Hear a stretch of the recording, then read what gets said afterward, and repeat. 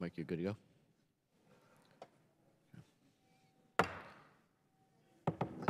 Subcommittee will come to order. Before I uh, begin my opening statement, uh, I want to welcome our witnesses, uh, and I'm just going to uh, read some some technical uh, information since this is a hybrid hearing, and some members will be uh, joining us remotely. welcome to today's hearing, operations in cyberspace and building cyber, cap cyber capabilities across the Department of Defense. we have convened this is a hybrid hearing, and we are joined by members who are participating remotely. Uh, members who are joining remotely uh, must be visible on screen for the purposes of identity verification, establishing and maintaining a quorum, participating in the proceeding, and voting. Those members uh, must continue to use the software platform's video function uh, while in attendance unless they experience connectivity issues or other technical problems that render them unable to participate uh, on camera. If a member experiences difficulties, they should contact the committee staff for assistance. Um, video of uh, members' participation will be broadcast in the room and via the television internet feeds. Members participating remotely must seek recognition verbally, uh, and they are asked to mute their microphones uh, when they are not speaking. Uh, members who are participating remotely are reminded to keep the software platform's video function on the entire time they attend the proceeding. Members may leave and rejoin the proceeding.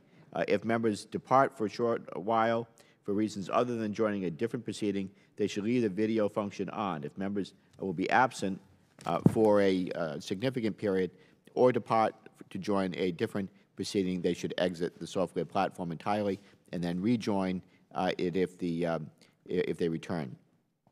Members may use the software platform's uh, chat feature to communicate with staff regarding technical or logistical support issues only.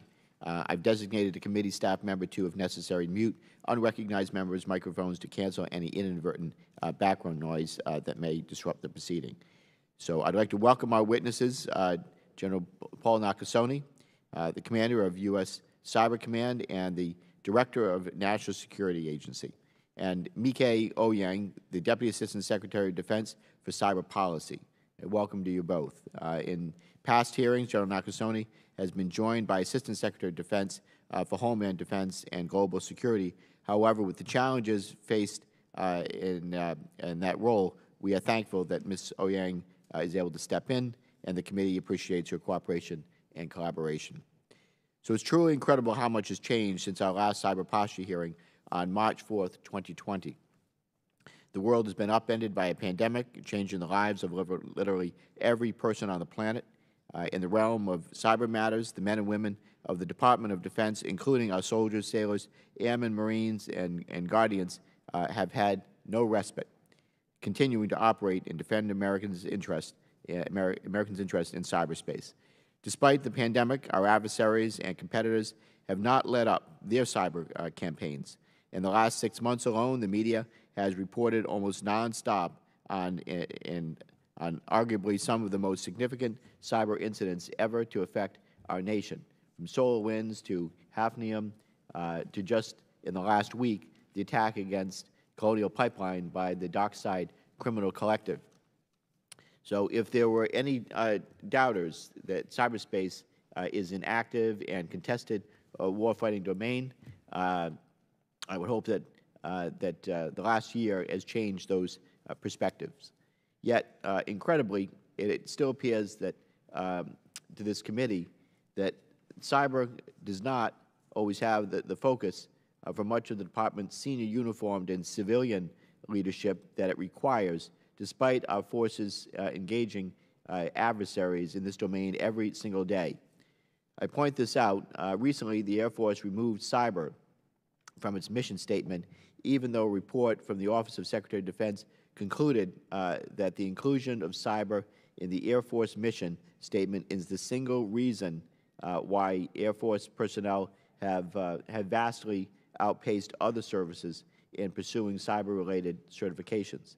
Candidly, it's frustrating that uh, the, the, people in this room, both members and witnesses, uh, seem to be fighting an uphill battle to put cyber front and center in the Department. Out of five officially recognized warfighting domains, uh, the senior civilian official uh, for air, sea, land, and space domains are military service secretaries. Yet, with all due respect to Ms. Eoyang and her spectacularly overworked team, the civilian, uh, the, senior civilian for cyber is four rungs lower than her counterparts overseeing other domains. So we also uh, have to account uh, for the ways in which cyberspace operations occur within and affect the information environment. One of the most illustrative examples of how the Department's uh, structure can hinder rather than enable uh, operations uh, is its own uh, organization chart. The DoD's joint publication 313 notes that cyberspace is one of many information-related capabilities uh, designed to affect uh, the information domain alongside psychological operations and electromagnetic spectrum operations. Yet each uh, of the information-related capabilities is handled by a, a, separate entity and siloed within the Department, ensuring uh, that we cannot leverage our capabilities to the maximum extent possible. This needs to change. In our current age of great power competition, conflict in the gray zone below the level of armed conflict has never been more relevant uh, to our strategic thought. For numerous reasons, challenges with attribution, easily altered payloads, and ease of proliferation, cyber is the ideal tool for gray zone conflict. The information domain, including cyberspace, is where our forces are engaged against our adversaries daily. As the nation uh, comes to realize that this domain is as important as any other, we need the, the Defense Department to adapt to ensure that any conflict with adversaries remains in the information space as much as possible and never moves into the kinetic realm. As we push the Department to adapt toward the information environment, congressional oversight has never been more necessary. It is the mechanism by which we monitor the activities of the executive branch and ensure compliance with relevant statute. While I understand that, that transitions can result in disconnects uh, and, or misunderstandings, I anticipate uh, hearing from the committee staff that any issues that may have arisen uh, will quickly will be quickly resolved to our satisfaction. So I'm happy to add uh, detail in private, uh, but we'll leave it at that for now. So with that, I now want to thank our witnesses again for appearing before us today. As a reminder, after this open session, uh, we will move to the CVC auditorium uh, for a, a closed member-only session. With that, I want to turn now to Ranking Member Gallagher for his remarks. Uh, thank you, Mr. Chairman, and thank you to General Nakasone and Mrs. Eoyang for being here today. Uh, cyberspace is the ultimate gray zone in which operations often do not fit neatly into either traditional kinetic warfighting uh, or non-traditional activities. Adversaries like China and Russia, as well as non-state actors, are continuously exploiting the gray zone and probing our networks and exploiting our vulnerabilities in cyberspace. I mean, just in recent months, we've had SolarWinds, we've had Microsoft Exchange, we had Russian cyber actors last week shut down a major U.S. pipeline, highlighting the cyber threat posed to our critical infrastructure from actors anywhere in the world and how actors all over the world can reach out and touch all of our constituents, no matter where and our districts are. Um, I just would say, uh, though our, our cyber adversaries are diffuse and evolving, and they've proved time and again that our, our cyber networks are only as strong as the weakest link, um, our operations and capabilities have also evolved, in large part due to the work of this subcommittee and the leadership of General Nakasone at uh, U.S. Cyber Command, and in particular, General, uh, the input that you provided to the Cyberspace Solarium Commission uh, over the last two years, uh, which took up a lot of uh, uh, Representative Langevin and my work over the last couple of years. Um, but as we continue to harden our networks and improve our capabilities, the President's budget must focus on modernizing DoD's platforms.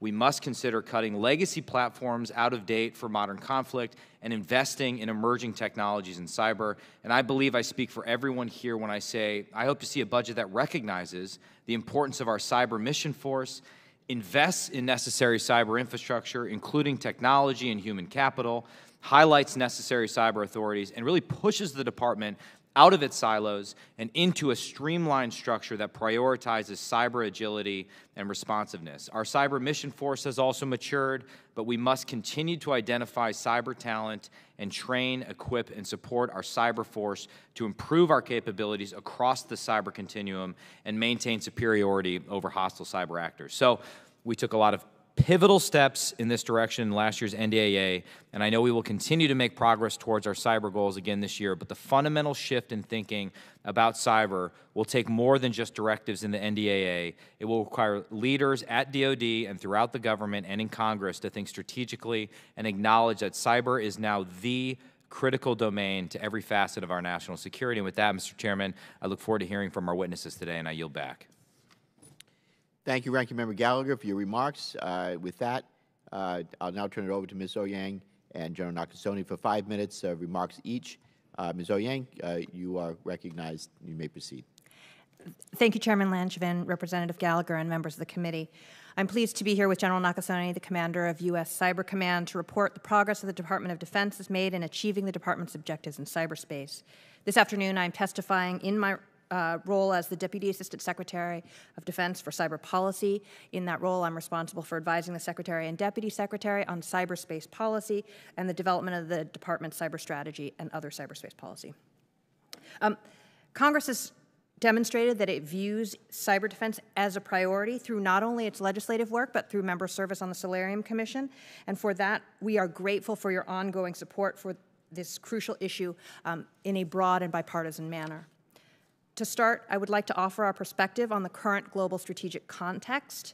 As you note, 2020 was a year of turmoil, with a global pandemic drastically altering our day to day reality and increasing our dependence on the internet. Our adversaries took notice of our growing reliance on technology. Cyber criminals and nation state actors alike took advantage of COVID 19 by unleashing ransomware on healthcare facilities, targeting vaccine production and supply chains, exploiting fears to spread disinformation, and even disrupting pipeline companies. As a result, the cyberspace domain is both more important and more contested than it has been in recent memory. Enhancing the security of cyberspace, both in the United States and around the world, is a top priority. As the President's interim national security strate uh, strategic guidance prioritizes cybersecurity and pledges to expand investments needed to defend the nation against malicious cyber activity and cyber attack. Our competitors are using their cyber capabilities to seek political, economic, information, and military advantages and to undermine our security by engaging in malicious cyber activity. The DNI assesses that cyber threats from nation states, particularly China, Russia, Iran, and North Korea, and their surrogates, will remain acute both in day to day competition and to seek advantage in armed conflict.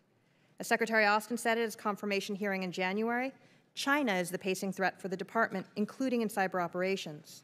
China uses cyber operations to erode U.S. military overmatch and economic vitality, stealing U.S. intellectual property and research.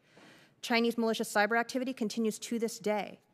Russia also continues to be a highly sophisticated and capable adversary, integrating malicious cyber activities, including espionage and influence operations, in mutually reinforcing ways to achieve its objectives.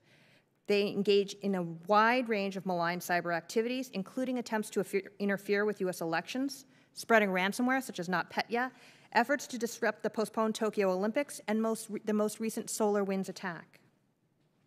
In addition to using cyberspace as an offensive tool, China and Russia view the internet as a mechanism to control and intimidate their own populations. While the United States advocates for an open, interoperable, secure, and reliable internet, China and Russia have created and employed a digital authoritarian model using their technological and cyberspace capabilities to manipulate narratives, repress free speech, surveil their citizens, and quash dissent domestically. China seeks to export digital authoritarianism to other repressive regi regimes, remaking the internet in its image. Beyond China and Russia, we remain concerned about the cyber threat posed by Iran and North Korea, and further, nation state actors such as criminals, terrorists, and violent extremists continue to leverage the internet to uh, advance their agendas. The line between nation state and criminal actors is increasingly blurry as nation states turn to criminal proxies as a tool of state power, then turn a blind eye to the cybercrime perpetrated by the same malicious actors. This is a common practice for Russia, whose security services leverage cybercriminals while shielding them from prosecution for crimes they commit for personal benefit. We have also seen some states allow their, governor, their government hackers to moonlight as cyber criminals. This is not how responsible states behave in cyberspace, nor can responsible states condone shielding of this criminal behavior. The President has made clear also the, the need to strengthen our alliances. The department is driving new approaches to do that, and we continue hunt forward operations with partners even during pandemic and cyber exercises such as Cyber Flag to help our allies prepare for uh, adversary actions. Um, President Biden is currently conducting a review of national strategy, which will culminate in the issuance of two key documents the National Security Strategy and the National Cyber Strategy.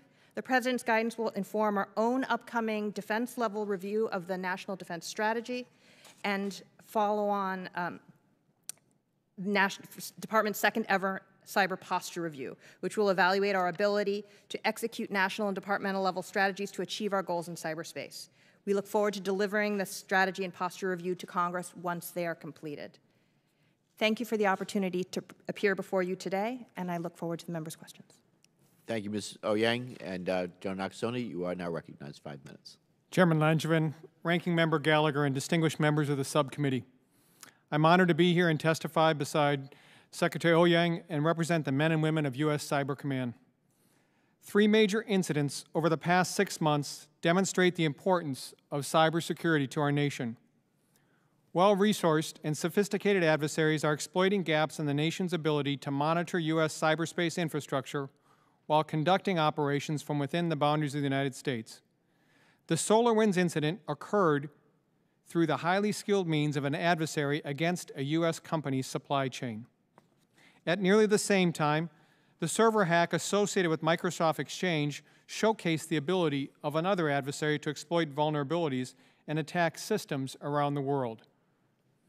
The Colonial Pipeline ransomware attack also demonstrate a growing trend of companies and even government agencies being held hostage by malicious cyber actors.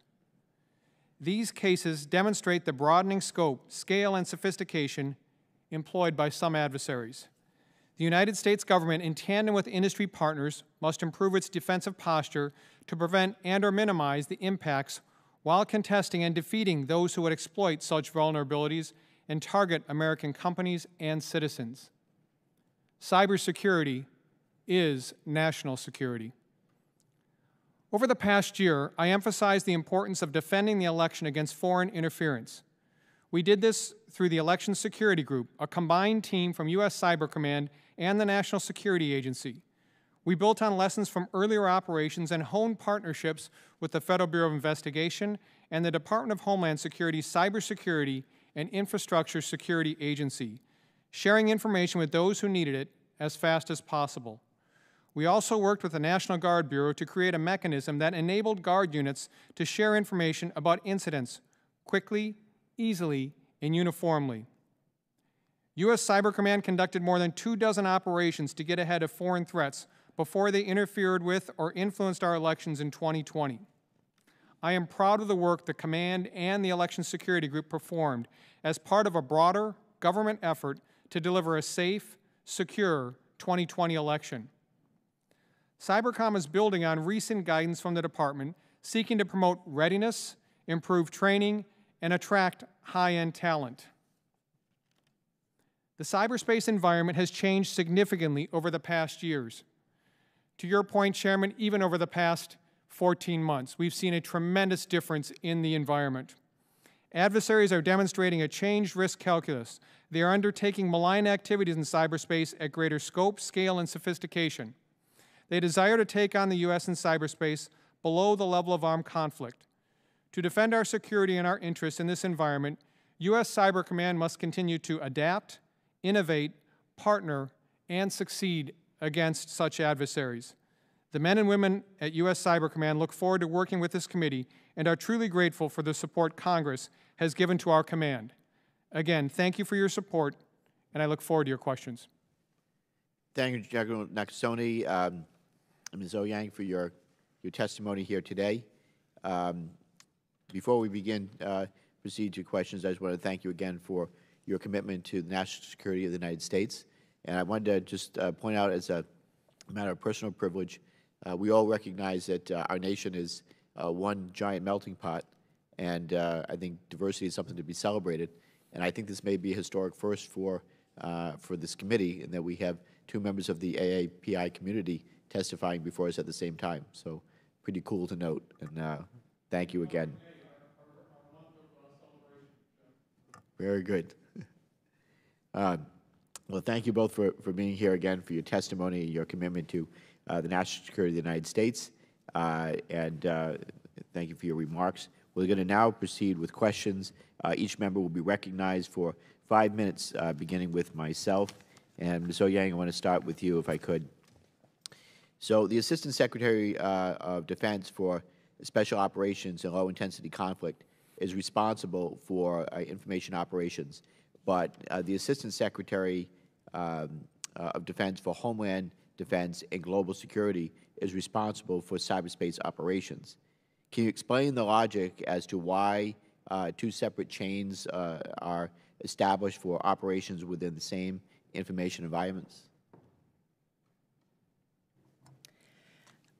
Mr. Chairman, um, I appreciate the question here. I think I, I'm not sure that I um, am, can give the full history on how that evolved from uh, the department's perspective in terms of why those two things are in separate silos. Um, agree that there is a fair amount of overlap there, um, but as you may know, the PSYOPs, information ops, had traditionally been held in the um, the special operations community, um, and as cyberspace grew up, it it went through a number of evolutions and has found itself within the homeland defense and global security arena, in part because of the focus, I think, on the homeland security aspects of cybersecurity. But certainly there are some coordination challenges in the division between the two. So to that point, you know, uh, it, how do you and the Deputy Assistant Secretary of Defense for Special Operations and Counterterrorism, a position that uh, owns the information operations portfolio uh, for OSD policy, coordinate and collaborate? I'm in regular communication with my colleagues, and we are um, we are collaborating at all levels between our two offices, Mr. Chairman. Okay, that's something that we're going to have to continue to work on, I think, too, though.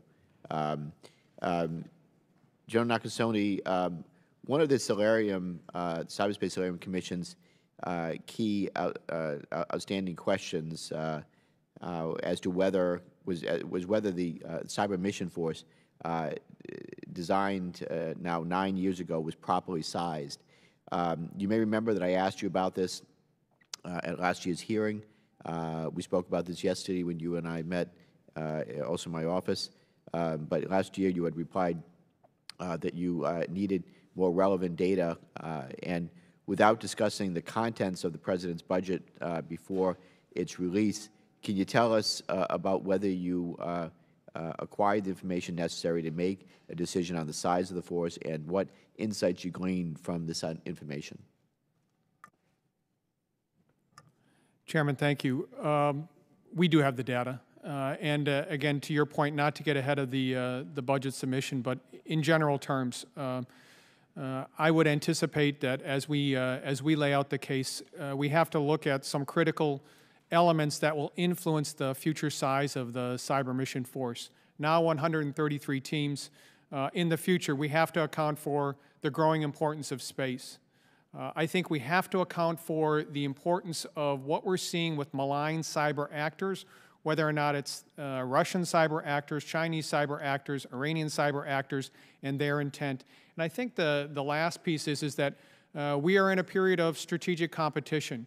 Uh, and I think the word is competition. So we have to have that balance of not only what we are going to support our fellow combatant commands uh, if uh, conflict was to break out, but also if our adversaries are operating below the level of armed conflict every single day, what type of force do we need to be able to ensure that we can counteract that, much in the same way that we have done in our support to the national elections. Thank you, General. Um, and uh, recently, one of your uh, subordinate commands, Army Cyber Command, established uh, an Information Warfare Operations Center. At, uh, at nearly the exact same time, U.S. Army Special Operations Command at Fort Bragg separately established an Information Warfare Center so acknowledging that this uh, is uh, Army specific, it points to a wider issue about lack of clarity on mission sets and an absence of direction inside the department. How do you distinguish what Cyber Command uh, and its cyber-focused subordinate commands do versus what Special Operations Command and its SOF-centric uh, subordinate elements do? Chairman, have a very, very close and uh, enduring partnership with U.S. Special Operations Command under the, uh, the leadership of General Rich Clarke. Uh, we talk frequently on this. To provide a bit of perspective on this, I, uh, I see it as uh, only natural that Special Operations Command, as they operate across all the different domains, also has a capability within cyberspace. I think the delineation is, you know, what is the focus of U.S. Special Operations Command? What is the focus of U.S. Army Cyber Command? What is the overall focus of U.S. Cyber Command? I, I think we have worked through that. I think, to your point, there's still work to do in our doctrine. We will continue to, to advocate for that work. Uh, but we all realize that it's more than um, you know, just conducting one cyberspace operations. It's the entire information domain that we have to understand and be able to operate within. Thank you, General. Um, I'll hold there and uh, turn to the ranking member for his questions now. Uh, thank you. Uh, General, you mentioned the challenge in the Colonial Pipeline context of, of ransomware and, and criminal groups. And I think it's safe to say that challenge is only going to grow in, in the short term. Part of the problem, it strikes me, is uh, an authorities problem. I'd be curious, to the extent you can answer in open session, what tools you believe you have in your kit to get at that challenge? Because I believe you also mentioned that as NSA director, you're limited in obviously monitoring domestic U.S. IT infrastructure. Do you think your cybercom forces could be provided under DSCA to DHS, for example, and used to conduct this sort of monitoring analysis under DHS authorities, at least until DHS builds its own capabilities? How do we get this, get at this in the short term while we sort of build out a, a longer term answer? Ranking member, I, I, think to your initial point, it's really important to look at this uh, as a broader uh, element and how do we get after uh, this criminal activity.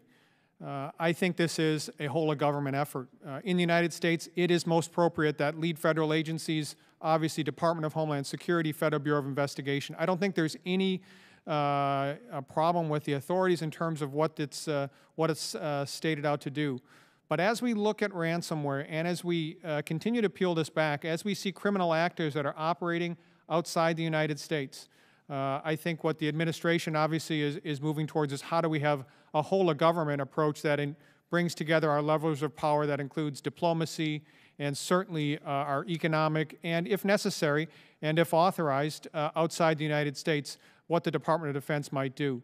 To your last point, uh, Ranking Member, uh, with regards to support for an incident like this, well-established processes, as you know, defense support to civil authorities, uh, and I think that those would be executed if lead federal agencies needed to, to have that support.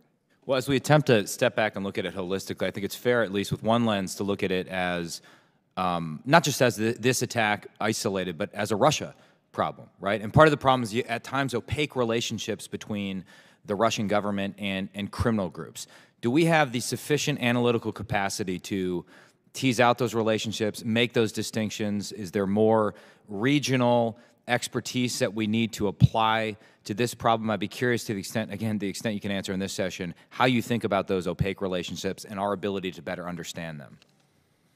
Uh, quite simply, I think about it in terms of how do I provide the most intelligence I can as the director of the National Security Agency or commander of U.S. Cyber Command that provides both a, a, a viewpoint on intent and capability of our adversaries. Uh, I think, you know, as, as any director of uh, uh, a combat support agency would share with you is uh, we need to do more. Uh, and we can talk a little bit more in, in closed session today, but uh, again, I, I think that overall, we have work to do across U.S. Cyber Command and the National Security Agency. And then finally, one of the uh, Cyberspace Solarium Commission recommendations that we are working on right now is this concept of systemically important critical infrastructure, which this case obviously brings up. Um, do you support the idea of creating a codified relationship between the United States government and critical functions? Uh, Congressman, I, I, would say I support anything that is going to ensure the security of our critical infrastructure and key resources. My experience has been with elections, but there are 16 other sectors, uh, and I think that what the administration has laid out in the 100-day plan, initially with regards to energy, is, is a great start where we need to figure out how do we bring the, the whole parts of the government and particularly important, how do we bring the private sector into a greater partnership to ensure that we have outcomes that will lead to greater resiliency and uh, obviously security? Thank you. I, I guess the clock doesn't count down when you're up this high on the dais, which is interesting, but in the interest of time, I'll, I'll still yield back. Well, we've, we follow the, uh, the lead of the chair and ranking member of the full committee, that the, the chair and ranking member of the subcommittee are not on the clock, but uh, with that, um, I want to now uh, thank you for your, your line of questions, and I also want to commend uh, the ranking member for his leadership as uh, co-chair of the Cyberspace Solarium Commission. I was proud to serve on the commission with you, and uh, really appreciate uh, uh, your commitment to our national security. That uh, uh, report was um, went a long way, I think, toward getting to us to a stronger place in cyberspace. Uh, with that, I want to recognize now Mr. Larsen for five minutes.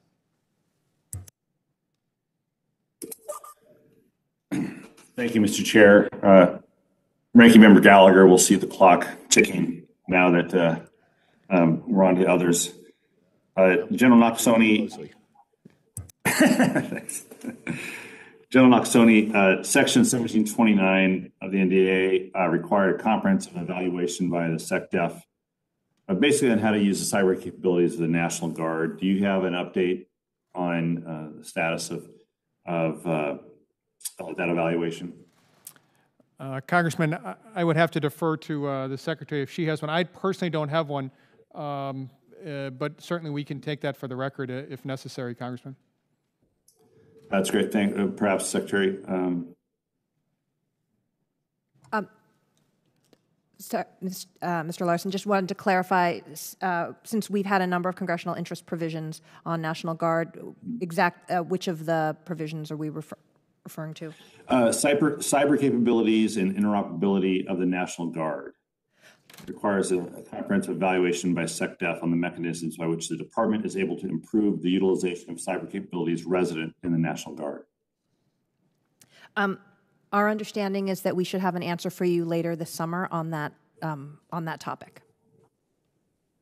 All right. Um, I have a, a, a list of questions that are really more appropriate for um, a different setting, but um, I did want to ask uh, where'd my question go here? Oh, um, perhaps for General Nakasone, can you highlight perhaps how you're leveraging commercial threat information providers, um, and and how do you share that information? Congressman, uh, we have a, a number of different relationships with, uh, with the private sector.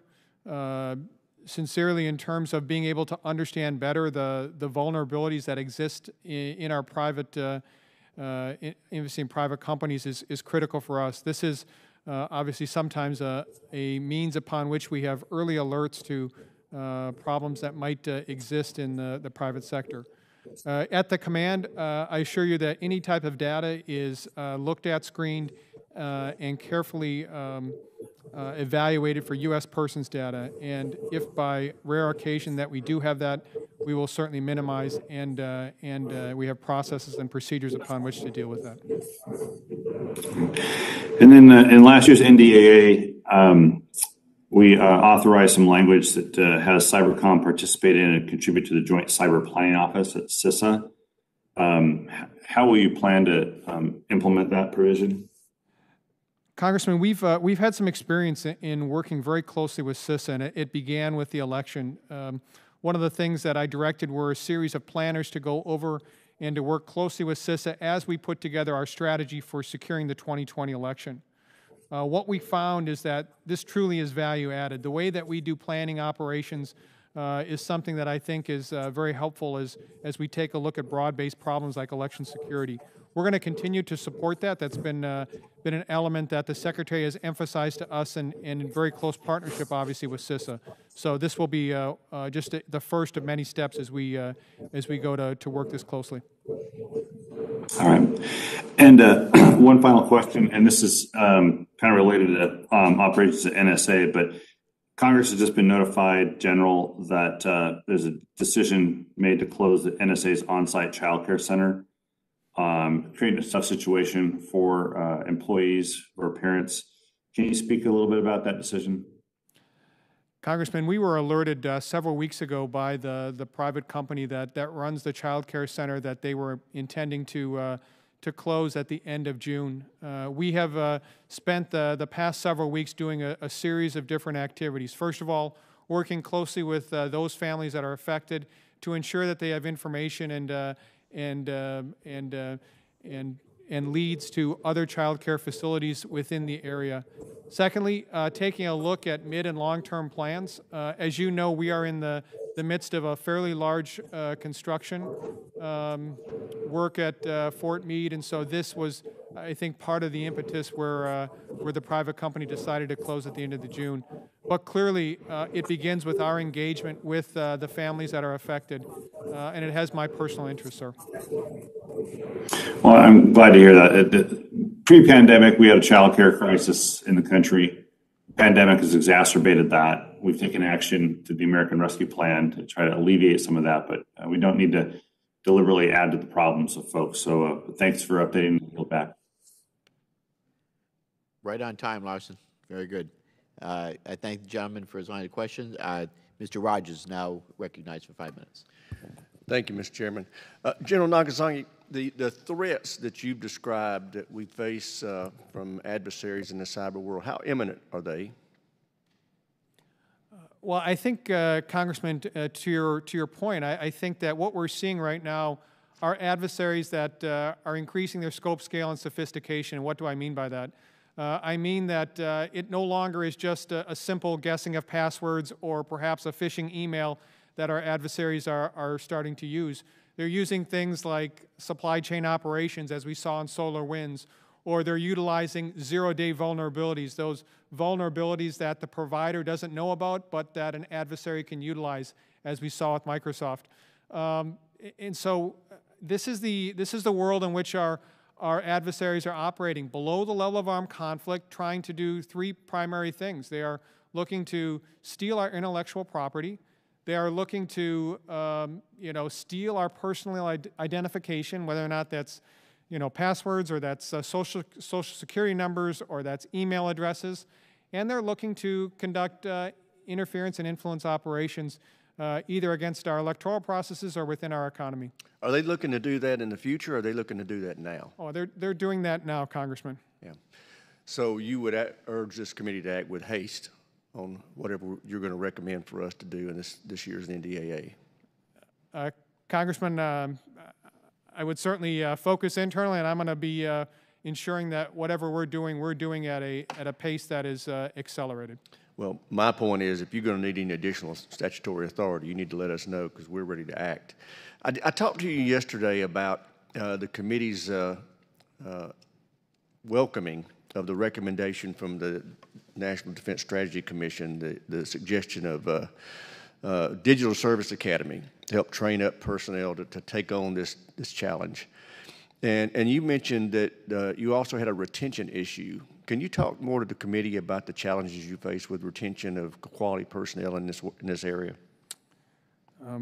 So, Congressman, you asked me yesterday about how the services were doing in terms of providing us uh, military and civilian members to, to outfit our 133 teams, and, and my response is they do a spectacular job at doing that. It's not the fact that our services uh, don't do a great job in recruiting and the fact that they do a great job in training, and then we develop them at U.S. Cyber Command. Uh, at the end of the day, uh, what I think the most about is how do we retain this uh, superior force, particularly those uh, individuals that are so much more capable than their peers.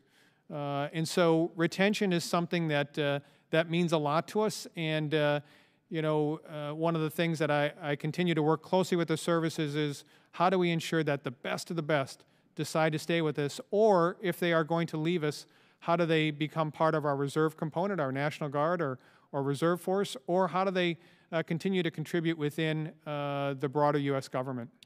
Uh, do you think you're going to need some statutory uh, uh, leeway to be able to accommodate that, that challenge?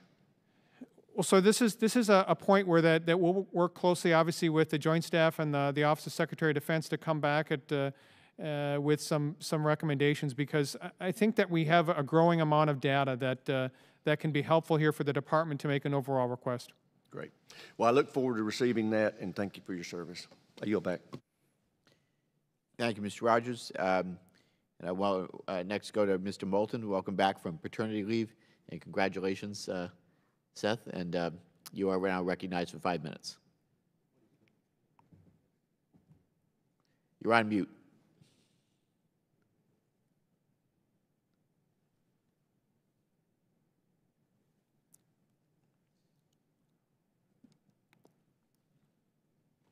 How's that? We got you. Go right ahead.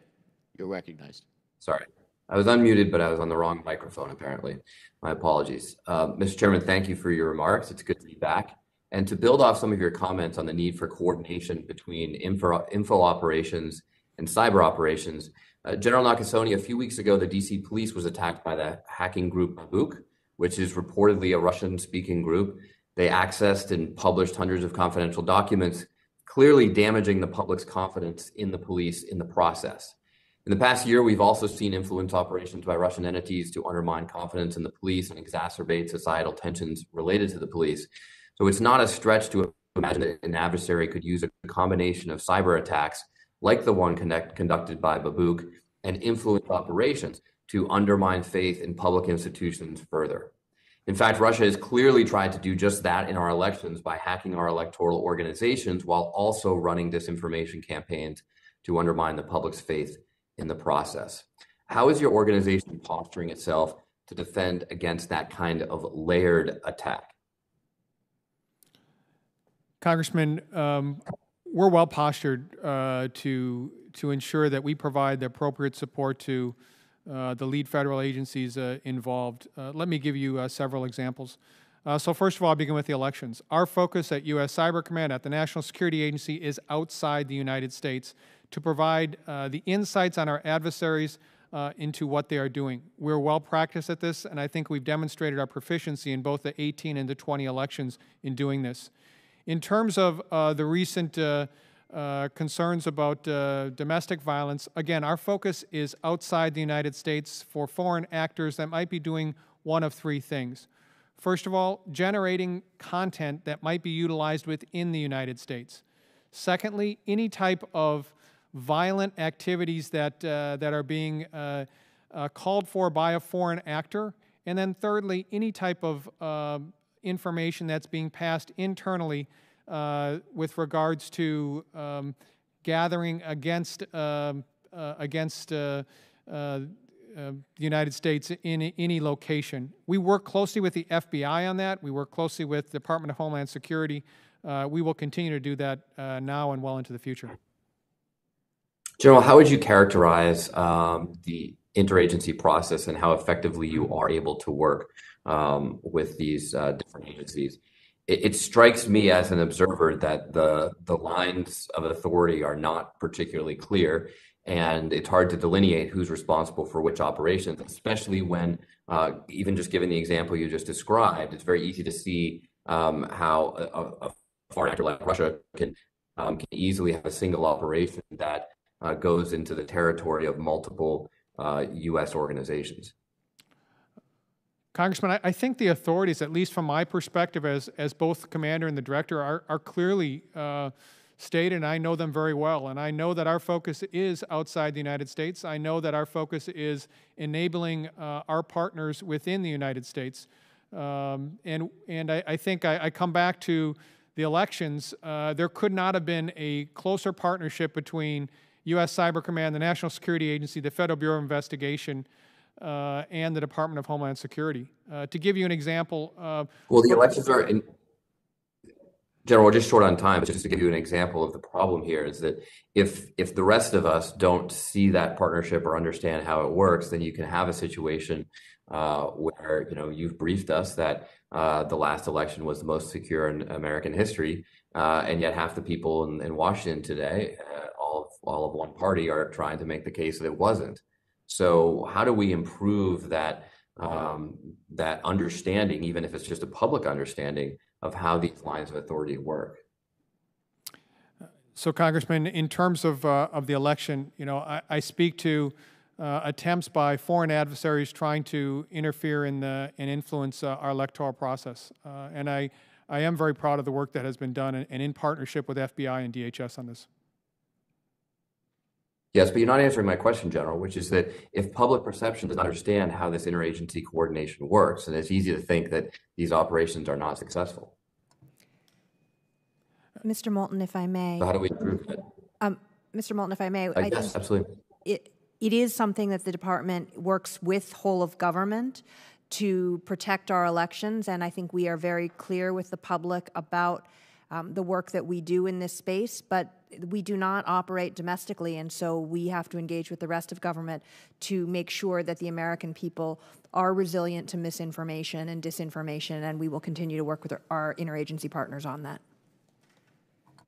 Yeah, I mean, that's that's my point, and I know my time's expired, Mr. Chairman, but um, I, I think we clearly need to do work on that. And um, you know, if I had time, I was going to ask, you know, when I visit a Marine unit on the ground, are they going to say that they are integrated with Cyber Command? My questions all revolve around this coordination. It's very difficult to do, uh, and and I'm not trying to suggest that I don't have confidence in your ability to follow your lines of authority. Uh, but let's like make sure that uh, that they work well, not only internally, but that we can communicate them effectively uh, to the Amer- to the American public. Thank you, Mr. Chairman. Thank you, Ms. Moulton. Uh, Mr. Gaetz is now recognized five minutes. Thank you, Mr. Chairman, and thank you for holding this very important and timely hearing. Millions of our fellow Americans are suffering right now in their quality of life and their ability to interact with their jobs and their families as a consequence of a lack of resilience uh, to these foreign cyber threats.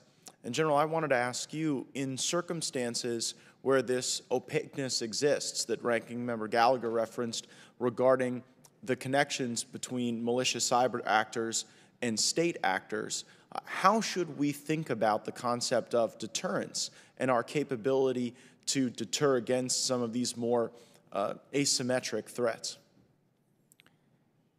Congressman, I think that uh, in, in terms of thinking about deterrence, it really is thinking about uh, how do we impose costs.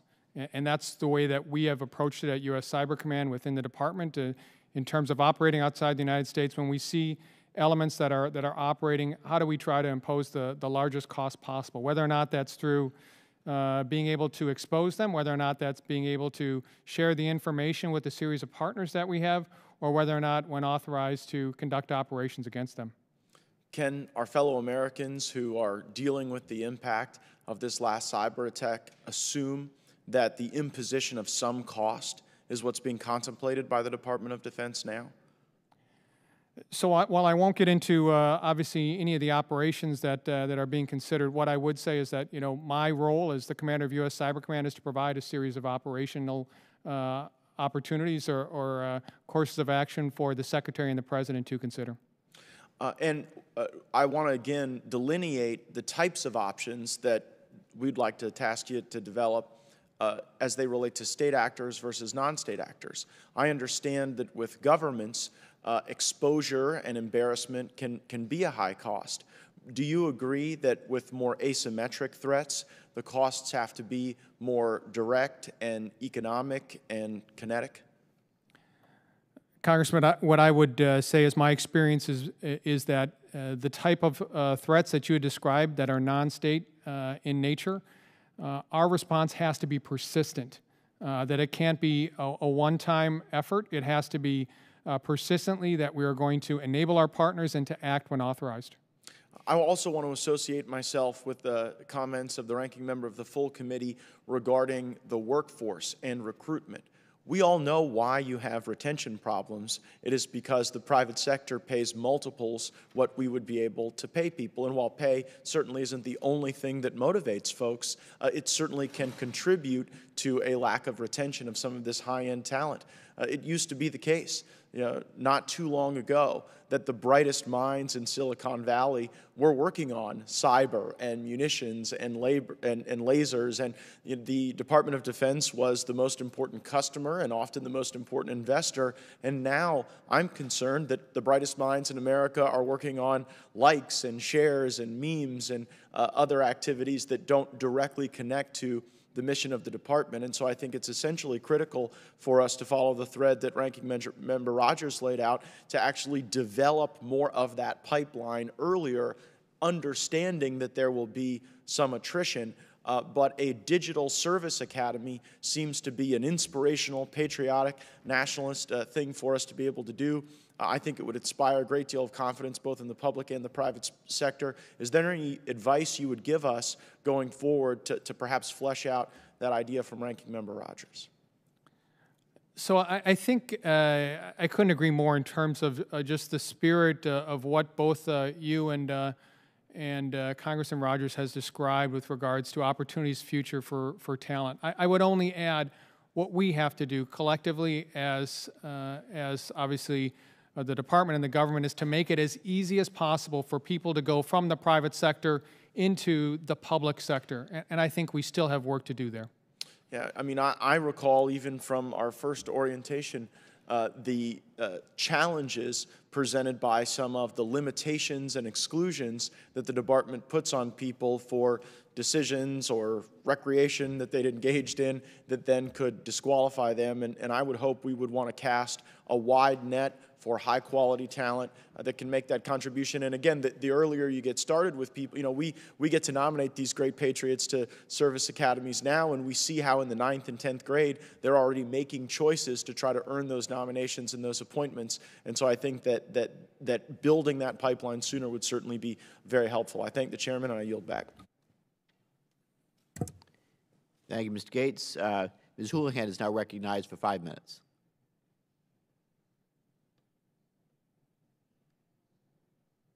Thank you, uh, Chairman. I really appreciate the chance to ask questions. Uh, this one uh, is for General Nakasone, and it's nice to see you again. Uh, I'm really interested in uh, digital citizenship and digital lit literacy. I think it's incredibly important, especially in this time when we're, uh, frankly, as a nation and as a world, unclear on where the truth lies. I'm wondering if you could tell us how you, frankly, both of you are ensuring that your cyber professionals are trained on how to identify and root out disinformation and if there's any specific training that you are using for your own team, is there anything that we could leverage uh, or take advantage of to expand to all of the DoD employees to be able to educate them uh, in sussing out the truth as well? So, Congressman, I'll begin, and, and if the Secretary wants to, to jump in. Uh, so, I begin in terms of our work. Uh, we have a very, very structured analytic development program at U.S. Cyber Command. That uh, walks our analysts through being able to understand uh, the information that's presented. I think to your point, this is a dynamic environment, and so our training continues to evolve. Uh, we continue to see our adversaries utilize uh, new means upon which they're trying to uh, to influence, and that's one of the areas that we have focused on is being able to have that ability to uh, to meter our training fairly rapidly. And is there anything that you can think of that would be applicable to the broader DoD at large? If I may, Congresswoman, um, I know that this is a priority for the Secretary, increasing the resilience of the DoD workforce, and it's something that he has been working on um, as we have gone through and um, responded to the events of January 6th. Um, I, and I think to echo General Nakasone's comments about the analytic workforce, not just at NSA, but at all of DoD's intelligence elements, we do teach a fair amount of critical thinking to large parts of our workforce. Thank you. I'd love to follow up with you uh, both on whether there's any applicability to the larger workforce and not just the analytical aspects of, of our DoD workforce, but the uh, body as a whole. Uh, the next question I'd like to very much associate myself with um, the remarks of Mr. Gaetz, and I know Mr. Rogers as well are interested in this concept of uh, the Digital Service Academy. I as well am very keen on uh, exploring that and advancing that as well. But in the meantime, uh, highly skilled STEM professionals are definitely um, something that we're competing with with the civilian economy. And I was wondering if you could speak a little bit about the cyber excepted service and how it has either positively or negatively impacted DoD's cyber missions and what we can do uh, in this space more to uh, enhance our workforce capabilities. Uh, maybe General Nakasone, uh, please first. Thank you, Congresswoman. Uh, I'm a huge supporter of cyber excepted service. Uh, what are we seeing with it? Uh, we're seeing that it is an avenue for us to be able to go to uh, recruiting fairs and offer final job uh, opportunities and uh, um, opportunities for young people to come and consider a, a, career with that U.S. Cyber Command. The other element is, is that I think it takes into account that we have to hire differently, and so we're seeing a dramatic drop in the number of processing days for those that are uh, hired under cyber excepted service. Let me give you an example. Traditionally, it's taken about 110 days uh, to bring someone into uh, our civilian workforce. Under cyber excepted service, we're seeing that drop to, to somewhere in the, the 60 day range. So that's, that's a tremendous drop for us. That means that we get people into our workforce much quicker. Uh, it it's a much better sign for those that are coming into U.S. Cyber Command that we're serious about talent as our number one priority. Ms. Eoyang, do you have anything further to contribute to that? No, I think that General Na- Nakasone is right, and building a, a strong and vibrant cyber workforce is certainly a priority, and we've been working with our colleagues in uh, personnel and readiness to try and improve that. Thank you.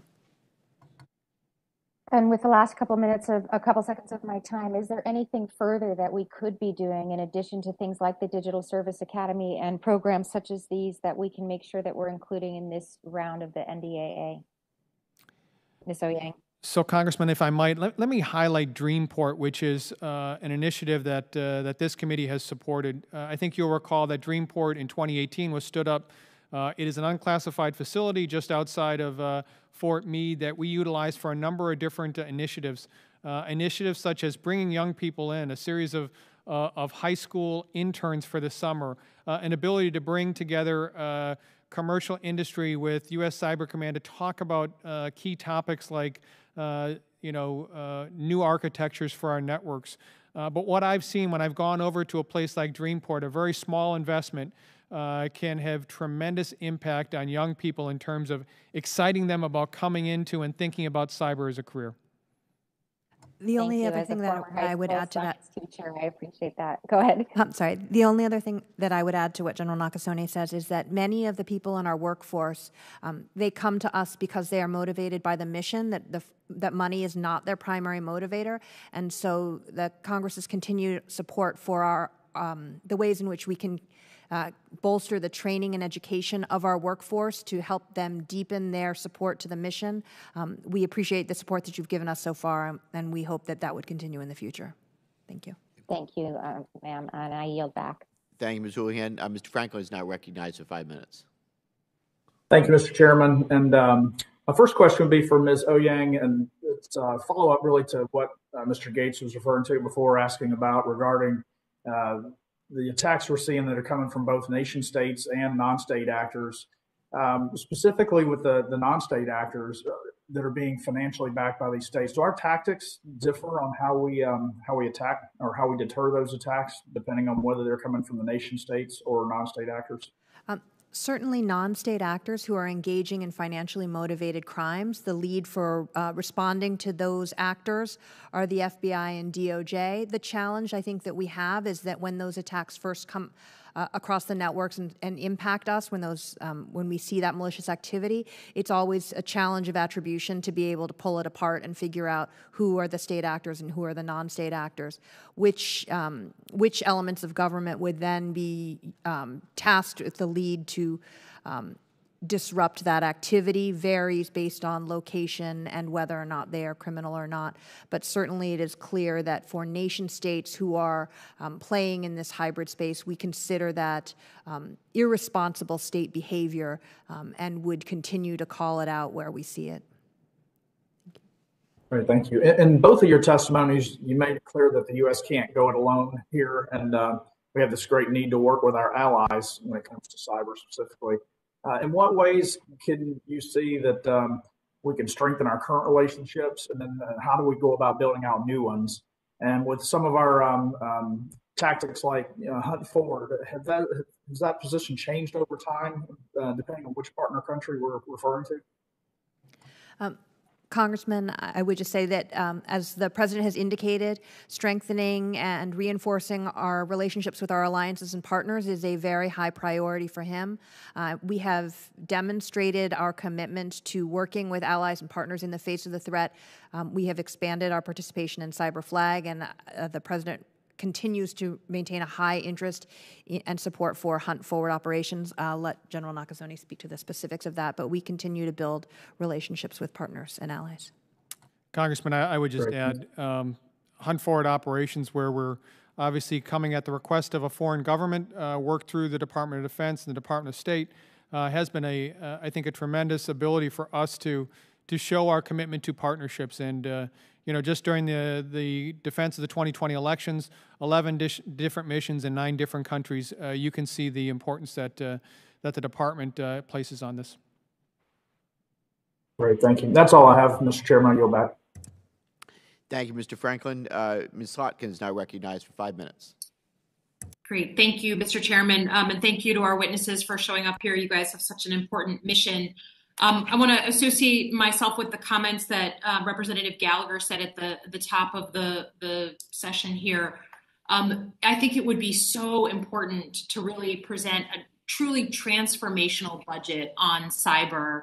Um, uh, you know, whenever you guys submit it, I think the, that this committee is is crying out for it. I think that the country is crying out for it, and we know that that will come at the expense of older systems, legacy systems, pork, um, and that Congress has a responsibility um, to help you with that, which we don't always live up to. Um, but I just want to encourage you to be bold and and provide something that really helps move us into um, the 21st century, so we can maintain our military edge. I guess the question I have um, uh, for both of you is I'm running this task force along with Mr. Gallagher on the Defense Department supply chains and our vulnerabilities. And cyber has come up at every single session that we've had eight weeks in a row. So, can you tell me, particularly in the wake of SolarWinds, kind of what Cybercom is doing to look at supply chain vulnerabilities, either access um, by foreigners or um, or just you know whether it's intentional or benign. Can you talk to me about supply chain issues? Congressman, Congresswoman, I'm sorry. Uh, what we have done in the in the wake of SolarWinds is again taken apart and, and better understand exactly what the adversary was uh, was able to do, and from that, working with the National Security Agency and uh, uh the Department of Defense, uh, have looked at the defense industrial base to be able to, to share that information. I would offer to you, however, that uh, we are also getting a tremendous amount of uh, support and information from uh, defense industrial base companies that provide us kind of a, an indicator and be more than happy to, to follow up uh, with that in a, in a future session. Okay. Um, the, the other thing I guess I would ask is, um, you know, in Michigan, we host uh, a multi-domain exercise that is uh, Army Air Force and has now been integrating cyber into you know the giant exercise. Tell me about what you've done to try and encourage the cyber component of multi-domain exercises all over the world. Congresswoman, what uh, what we have done is uh, twofold. One is uh, to try to encourage and uh, support the Guard not only in exercises but in real world, and so we created a capability called the Cyber 9 line, which allows uh, any element within uh, the Guard, Air, or Army to be able to access our big data platform to share information at an unclassified level with the simple use of a common access card, which is your ID card. Every single element within uh, the United States, uh, the 54 elements of the Guard in our states and, and territories, has utilized that. The second piece is, is continuing to support not only within our exercises, cyber flag, as, a, as the secretary mentioned, but also within guard exercises to have robust cyber play. Okay.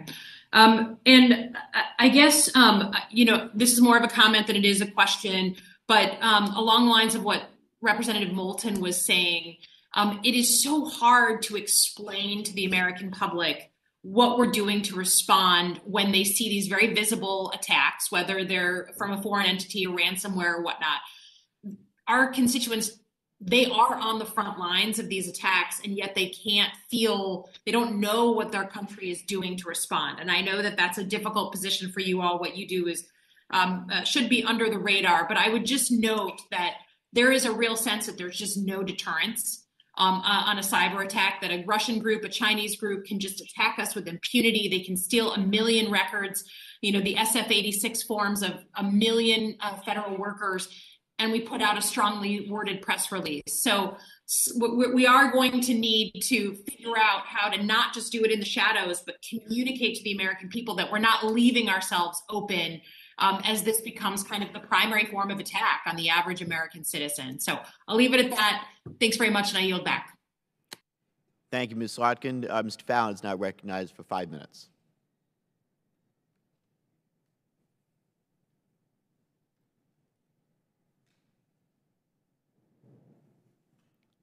Mr. Fallon, you with us? Yes. Sorry, Mr. Chairman, can you hear me?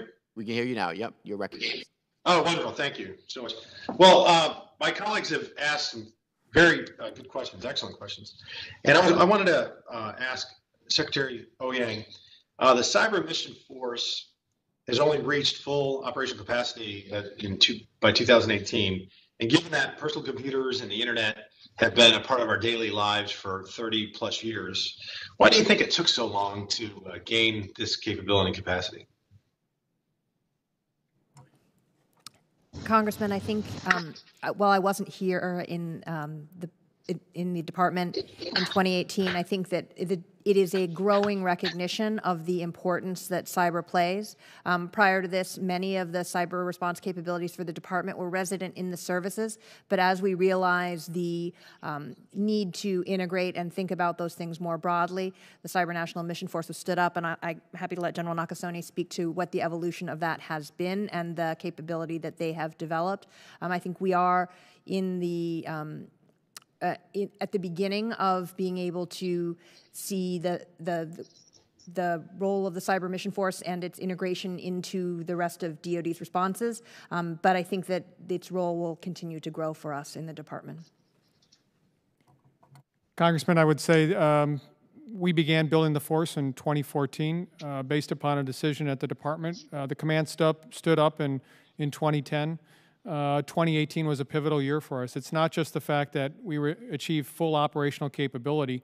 Uh, with the help of this committee, with the help of Congress, we uh, received the right uh, authorities within the NDAA that uh, identified cyber as a traditional military activity. And that was instrumental for the work that we did in the 2018 midterm elections.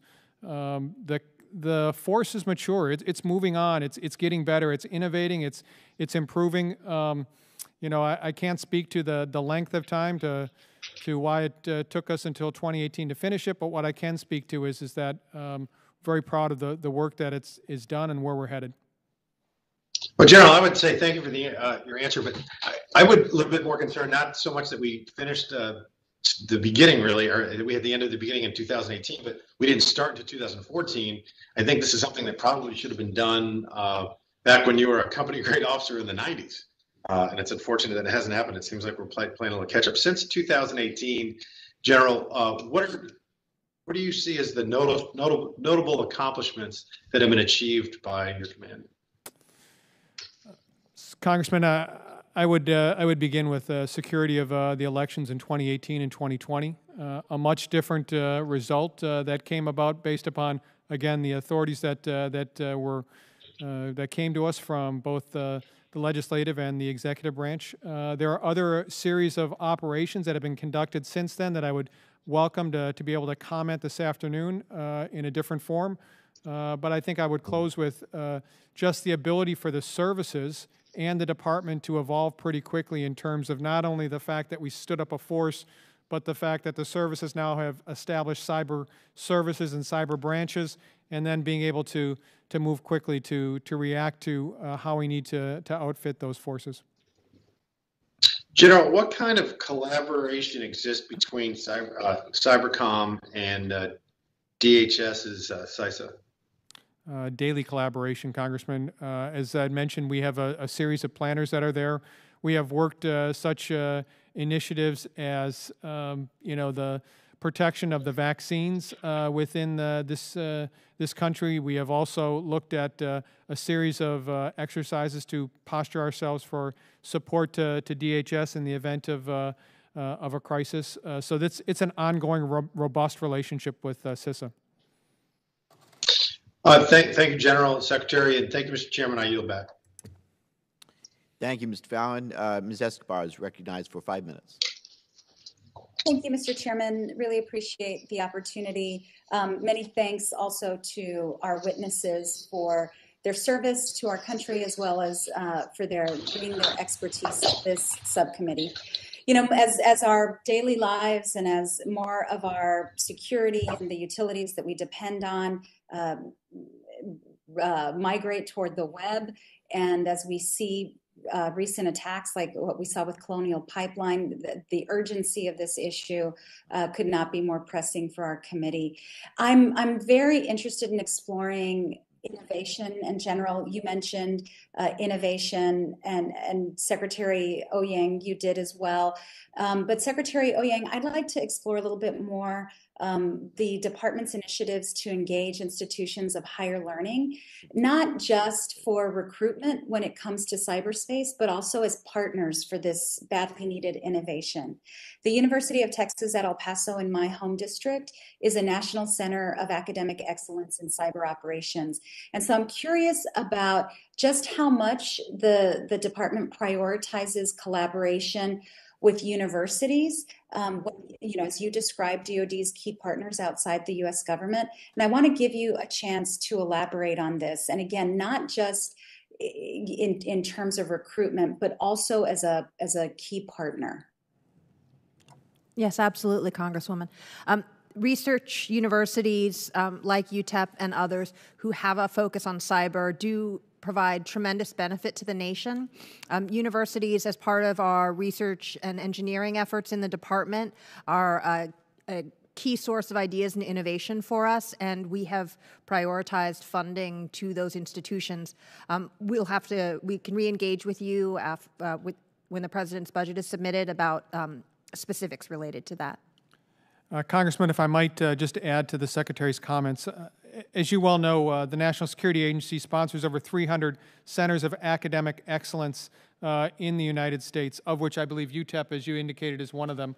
We will continue to do that as an agency. It's critical not only in the, the sense, as you noted, with regards to the development of our, our young people, but also in the development of curriculum that changes and matters to uh, what our universities are, are working on. So uh, I think this is a rich partnership that we will certainly continue well into the future. General, I really appreciate that. And, you know, one of the, the things that I would add in, in, in addition to bringing that, uh, that innovation that universities and institutions of higher learning can, can bring, an institution, as you know, like UTEP, which is a Hispanic serving institution, brings badly needed diversity to uh, the way that we operate as a country, as a government. Um, and, and so I, I, appreciate that. And I look forward to continuing to work with you all on, on, ways to expand opportunities for institutions like UTEP, but also to, to really rely on that innovation that, that I think will help get us from out from being behind the curve and, and, and to, to being more in front of it. Um, Secretary Eoyang, one last thing. The, i want to explore the, the Pathfinder program. You said you partner with DHS on this, in which you assist private companies by enhancing their ability to protect their own networks. Can you describe the results of the Pathfinder initiatives? So I believe we owe Congress a more fulsome answer on our analysis of the Pathfinder program. But um, as we see today with the um, interruption of colonial pipeline the department's ability to partner with private sector in order to be able to help them identify threats on their networks is an important defensive step that we can take to help secure the whole of nation um, and i think perhaps general nakasone has some thoughts on, on additional public-private partnerships in that area so, Congresswoman, I think uh, my experience has been we have worked uh, closely with both the financial and the energy sectors on that. If we might, if if I can take that for the record, though, to provide you a more fulsome answer. That'd be great. I appreciate it. Thank you both, Mr. Chairman. I yield back. Thank you, Ms. Escobar. Uh, Ms. Bice is now recognized for five minutes. Thank you, Mr. Chairman, for holding this very important hearing. Um, and thank you to both the witnesses for joining us today to share your perspectives. Uh, I appreciated your comment, General, in the beginning that uh, cybersecurity is national security. And I think that the things that we've seen over the last you know, week or two, especially, have highlighted the importance um, and the um, swiftness at, at which this issue needs to be addressed. As both of you know, the DoD currently relies on thousands of data centers that are often stovepiped, disconnected, and in many cases have reached their limits of service life service. They can no longer be upgraded to meet current cyber threats our nation is facing. I understand there's a directive for DoD agencies to migrate to milCloud 2.0, but the adoption has been slow. Uh, for both of the witnesses, but specifically to Secretary Eoyang, could you provide me with your perspective on the migration to milCloud 2.0 and the degree to which the migration can help address DoD's current uh, cyber vulnerabilities? Um, so, as you know, the department takes a number of steps to defend its networks and its data, um, and but the, as to the specifics of the migra migration, I'll have to take that for the record. I want to make sure that I've coordinated that with my CIO colleagues. Thank you. What I would add to that, Congresswoman, is uh, what we have learned over the past uh, six to 12 months is that we have to think about defense differently in terms of as we move to, you know, cloud-based uh, capabilities to secure our data. Uh, many people think that we'll just put it into the cloud. Uh, it, it, doesn't work quite that way. And so, ensuring we have the right contracts written, ensuring that we have our defensive forces trained to a high, higher degree in terms of their abilities, ensuring we have the big data capabilities that are necessary. Uh, that's what I would add to it. Follow up question um, specific to that topic, and that is Do you believe that we are investing enough in cybersecurity? I, and I'll, I'll elaborate on that. I feel like um, we, we tend to focus when we are looking at budgets on people and um, you know equipment, but we're not looking at that cyberspace as much as I believe maybe we should be. And maybe some of the things that we're seeing now are highlighting some of that. Um, certainly we have tremendous risk in cyberspace and we are facing um, persistent adversaries in this space. Uh, I think that the questions of the resourcing are things that we have to take into consideration in light of the other demands that are placed upon the department and the nation. Um, while we certainly could make use of additional funds, whether or not um, whether how that all works out, we're happy to engage the committee when the president's budget um, is released. Congressman, I'm a, at a bit of disadvantage because you're asking the combatant commander in charge of cyber to comment on a question like that. Um, here's what I would say uh, we have to use every single dollar that is provided to us by Congress in probably a much more efficient way. Uh, and the way I would characterize that is, is that working very, very closely with the DoD Chief Information Officer, where do we prioritize our last dollar of defense? He has done a tremendous job, John Sherman, in, in laying that out. Uh, we have clear uh, guidance from the Secretary that accountability means something with regards to cybersecurity. So it's not just the fact that we need more money. We need to be able to use the money that we have to the most efficient uh, benefit of our department. Do you believe, on that note, do you believe that flexibility in um, making those acquisitions in a timely fashion would be of benefit to you? Because one of the concerns I have is that we spend a lot of time planning, developing, uh, and then procuring, but but it could be two years by the time that actually uh, takes place, and at that point, the technology that we are acquiring is no longer, um, you know, of use in many cases. How do we address the timeliness of making sure that we're keeping up with these cybersecurity challenges? Um, I do think this is one of those areas where we have to think differently given the speed of the threat. Um, the traditional acquisition models that the department has used for uh, concrete weapon systems are not applicable, may not be applicable to cyber given the speed of things, but that is something that we need to work out with our colleagues in acquisition and sustainment, and happy to come back to you guys with some additional thoughts on that. I appreciate the committee's uh, elimination of the $75 million cap on acquisition and the last NDAA. That was incredibly important for us uh, because we are starting to now grow this ability to do acquisition at the command. Uh, we need to go faster on that, but uh, that is an example of something that helped us tremendously. Thank you for your time today, Mr. Chair. I yield back. Thank you, Ms. Bice. Uh, Mr. Morelle is now recognized for five minutes. Uh, thanks very much, Mr. Chair, for uh, this important uh, hearing, and, and I, I uh, want to not only thank you, but thank the witnesses for their considerable contribution to the country. And uh, General, it's nice to see you. I had an opportunity with the freshman class in 2019 to visit with you uh, at Fort Meade and was very impressed with the operation and I know how critical this is. I want to just, and these may have been question, as I'm thinking about it, may have been asked in one form, but, but maybe you could just drill down a little. I have um, some questions about how private industry, the private sector innovation can help Cybercom address uh, increased cyber attacks, whether they can, whether in your opinion, some of those innovations can. I know the private sector is working on it. Secondly, is whether or not the command is well positioned to implement cutting edge technology from the private sector. So um, is it available? Is there help out there that you think you could use? Uh, are you positioned to be able to implement uh, help and resources and innovation in the private sector? And finally, are there obstacles preventing you from acquiring and implementing technology that we need to address that we need to help you either through the NDAA or other means to help uh, uh, you with greater collaboration? And I'd ask of both witnesses. Congressman, um, just to, to start, I, I would say that uh, is there initiatives in, in the private sector that uh, could certainly help us? Uh, yes, most definitely. And, and we see that. We're working with uh, Defense, uh, uh, Defense uh, Innovation Unit. We're working uh, through a series of partnerships that have been established. And then we're bringing it to you know a common location like our DreamPort facility where it's unclassified. We can have a discussion. We can they can understand in the private sector what our priorities are. That's among the most important things that that we have to do at the command is list these are the challenges that we need assistance on. Private sector is seeing that they they understand that.